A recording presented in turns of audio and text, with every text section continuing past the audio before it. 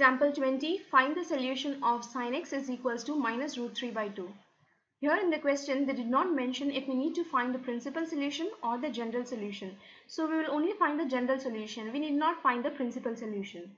So sin x is equals to minus root 3 by 2. We can also write it as sin x is equals to minus sine pi by 3 because root 3 by 2 is nothing but sine pi by 3. So sin x is equals to this minus will shift here in the theta. Okay, so it will be sine minus pi by 3. Because we have minus root 3 by 2 here, the value of minus root 3 by 2 will be sine minus pi by 3. So now sine x is equals to sine minus pi by 3 is in the form of sine theta is equals to sine y.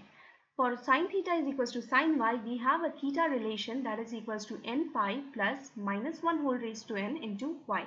So here theta will be x and y will be minus pi by 3. So let's substitute the values of theta and y that is theta is x n pi minus 1 whole raised to n and y is minus pi by 3.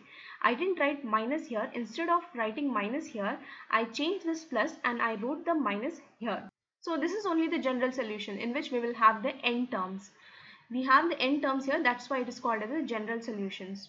In your textbook you may find a different value you may find here 4 pi by 3 uh, but the values will remain same. You may get the different pi terms but the value remains same. The value of minus pi by 3 and plus 4 pi by 3 which is given in your textbook has the same value of minus root 3 by 2. So it is uh, no different. So don't confuse yourself okay both are correct. So that's all. Thank you.